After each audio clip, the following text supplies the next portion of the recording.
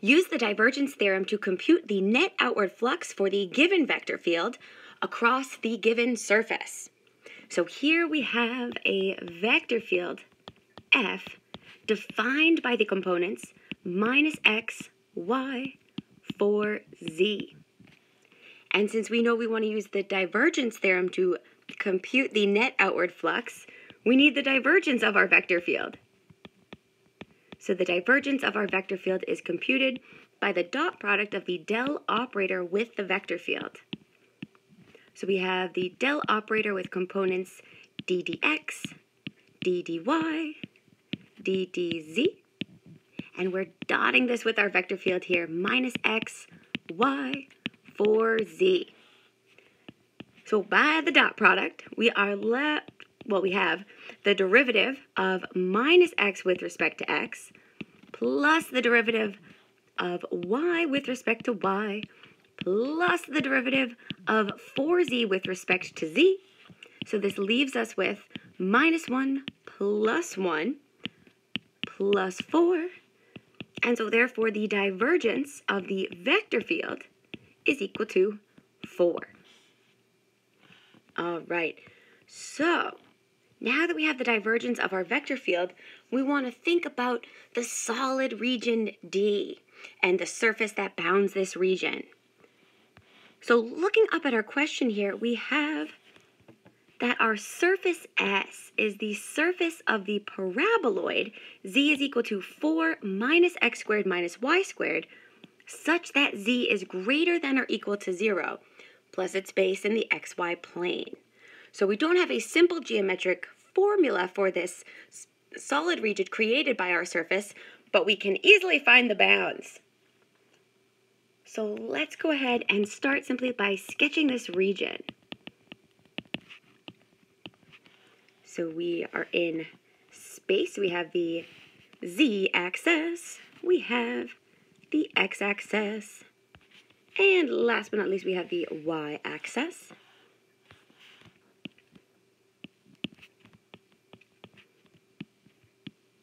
And we have that this solid region is bounded by the surface, and we have the paraboloid.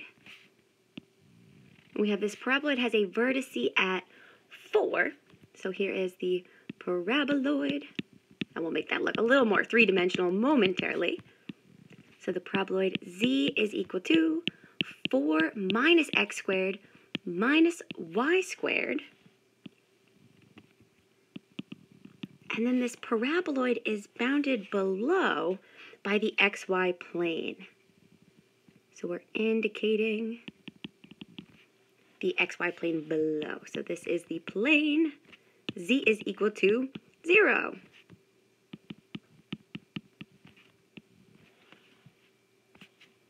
And so we can say that this is creating our surface S. And we have the solid region bounded within. So we can see, looking at our solid region D here, we can see the bounds on Z. We can see that this region D is bounded above by the paraboloid and bounded below by the xy plane. So therefore, Z is greater than or equal to 0, less than or equal to 4, minus x squared minus y squared. But what about the x and y bounds? So looking at our solid region, to determine those x and y bounds, we want to think about the solid's projection into the xy plane. So we can even see that region here. So this is what we need to find next. We need the solid or excuse me, we need the projection of the solid into the xy plane. So if this we're thinking about the projection or the shadow that's cast into the xy plane, we know that this is where z is equal to 0. So since z is equal to 0, and using our paraboloid, we can say that we have 0 is equal to 4 minus x squared minus y squared and if we simply rewrite this, we see that this is a circle, x squared plus y squared is equal to 4. So we have a circle centered at the origin with a radius of 2. So here is the projection that region R in our xy plane.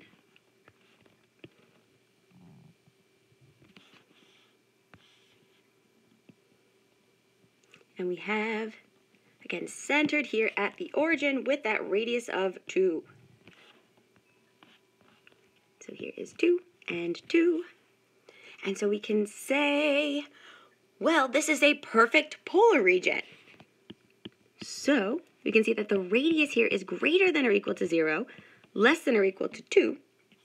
And since it's a complete circle, we have that theta is greater than or equal to 0, less than or equal to 2 pi. Now, if we're using polar coordinates in the plane, and we have z-bounds, we're going to need to convert our z-bounds to cylindrical coordinates. So notice, looking up at our z-bounds, the coefficient of x and y, we have that common coefficient of minus 1, so we can even think about this as 4 minus x squared plus y squared. And so we can make a little note to ourselves here, well, since we know that x squared plus y squared is equal to r squared in polar coordinates, then our z-bounds become, or are equivalent to, z is greater than or equal to 0, less than or equal to 4 minus r squared. So we have converted our z-bounds, and we now have beautiful cylindrical coordinates, as well as the divergence of our vector field, and we're officially ready to set up that triple integral for the divergence theorem. All right, so here we go. We are ready to evaluate that triple integral for the divergence theorem. So plugging in everything that we just found, we have the outer bounds are theta, so that's 0 to 2 pi. The middle integral is r, so we have 0 to 2. And the inner bounds are z, so that's 0 to 4 minus r squared. And we know that the divergence of our vector field was 4. And remember, if we're using cylindrical coordinates, the differential is r dz dr d theta. And we're ready to go. So integrating with respect to z first, this gives us, so the outer and middle bounds stay the same. So 0 to 2 pi, 0 to 2. And then integrating this with respect to z, this gives us 4 times the radius times z, which we're ready now to evaluate from 0 to 4 minus r squared, dr d theta. And so evaluating this, we have the integral from 0 to 2 pi, the integral from 0 to 2 of 4 times the radius multiplied by, so we have the upper bound 4 minus r squared minus 0 dr d theta. All right, so we can take this extra radius, the radius here, and distribute it through to both terms and simplify this to the integral from 0 to 2 pi, the integral from 0 to 2 of 4 multiplied by 4r minus r cubed dr d theta. And we're ready now to integrate with respect to the radius. So we still have the integral from 0 to 2 pi. But now integrating with respect to r, we have 2r squared minus r to the fourth by 4. And we're evaluating this from 0 to 2, d theta. So we have, so we the integral from 0 to 2 pi of 4 multiplied by, so we are plugging in our upper bound here, which is 2. So we have 2 times 2 squared, so 2 times 4 gives us 8, minus 2 to the 4th, so that's 16 over 4, and then minus 0, d theta. And we have some nice simplification. We know that 16 divided by 4 goes to 4, and then we have 8 minus 4 goes to 4, and then we have 4 times 4 gives us 16.